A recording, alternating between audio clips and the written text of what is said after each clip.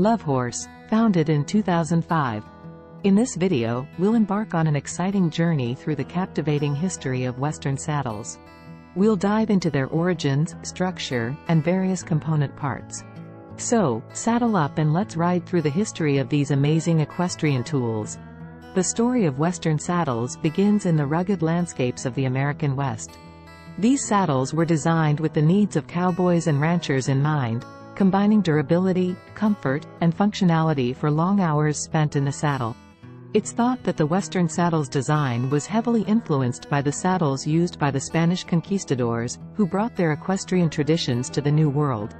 The Moorish-style saddles used by the Spanish were adapted to suit the demands of the American West, resulting in the birth of the Western saddle.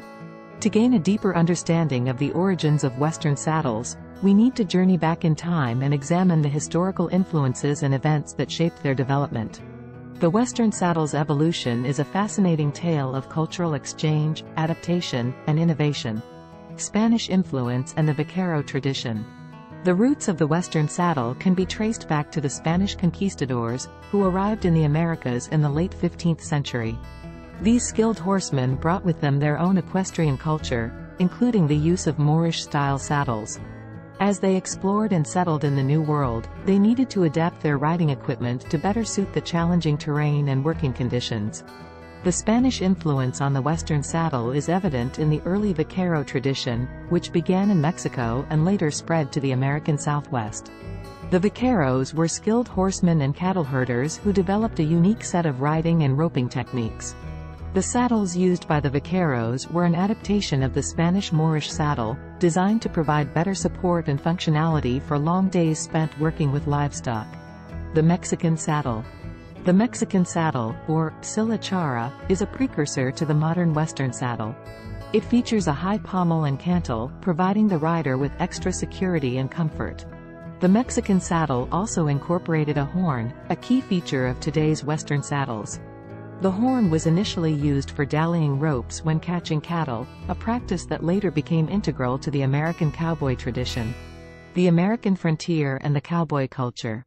As settlers moved westward in the United States, they encountered the vaquero tradition and adopted many of its elements. The Western saddle continued to evolve, incorporating features that suited the unique challenges of the American frontier. The development of the Western saddle was heavily influenced by the needs of cowboys and ranchers, who required a sturdy, comfortable, and functional saddle for long hours in the saddle. Key features such as the tree, fenders, and stirrups were adapted to better suit the rugged landscape and the demands of cattle work. For example, the saddle tree was designed to distribute the rider's weight more evenly, preventing discomfort for both horse and rider during long days of work. Fenders were lengthened to protect the rider's legs from chafing against the horse's sides, while stirrups were made larger and more durable. The Western saddle in modern times.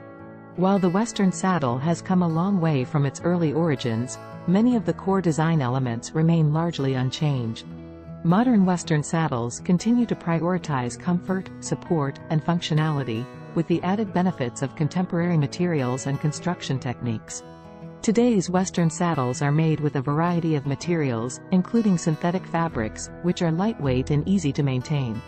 The saddle tree, once made exclusively from wood, is now also available in fiberglass, plastic, or a combination of these materials, providing more options for riders seeking specific qualities in their saddle. Advancements in technology have also allowed for a wider range of customization options, enabling riders to find a saddle that perfectly suits their individual needs and preferences. From custom tooling and decorative elements to adjustable rigging systems and innovative stirrup designs, the modern Western saddle offers riders an unparalleled level of personalization and functionality.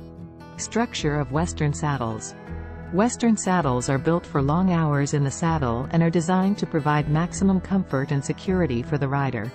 Key features of Western saddles include the tree is the internal structure that provides the saddle's shape and serves as the foundation for the rest of the saddle.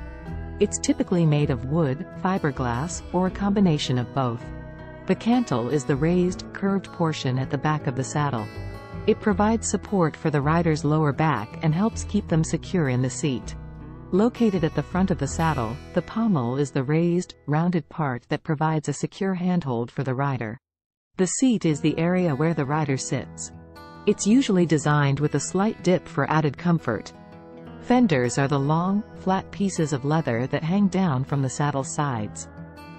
They protect the rider's legs from chafing and help keep them secure in the stirrups.